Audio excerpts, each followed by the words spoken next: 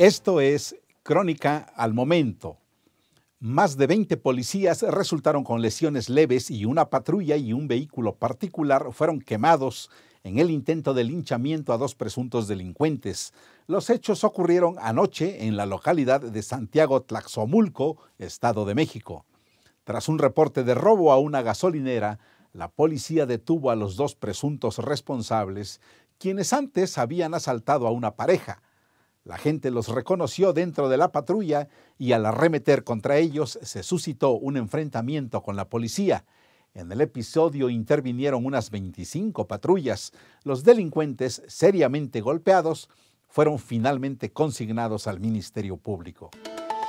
La embajadora Roberta Jacobson dejará su cargo este sábado y hoy expresó su interés de que sean investigados, resueltos y castigados hasta sus últimas consecuencias todos y cada uno de los casos de periodistas asesinados en nuestro país.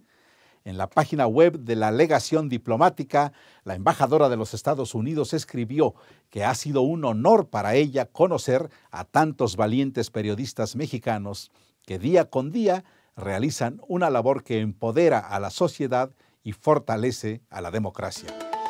La periodista mexicana Alma Guillermo Prieto ganó este año el premio Princesa de Asturias de Comunicación y Humanidades.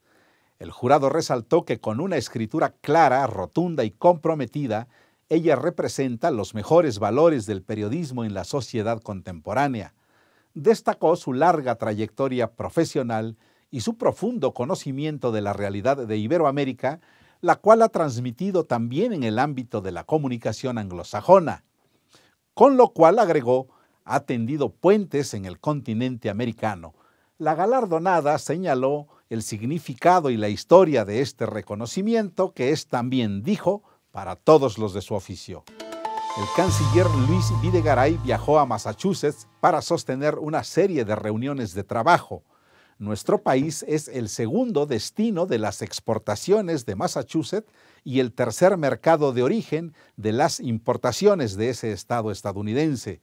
En 2017, el comercio entre México y Massachusetts fue de 6.3 mil millones de dólares.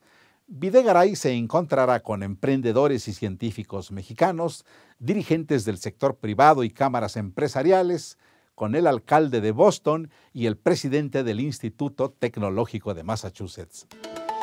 Donald Trump dijo hoy que el reembolso a su abogado por los fondos que pagó para la compra del silencio de la actriz de cine para adultos Stormy Daniels se efectuó por medio de un anticipo mensual y que no tuvo nada que ver con su campaña presidencial.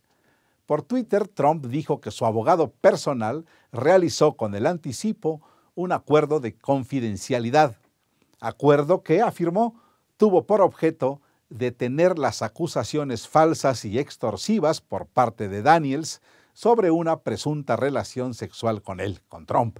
Síganos en www.cronica.com.mx. Los invitamos a ver el noticiero Crónica TV a partir de las 21.30 horas.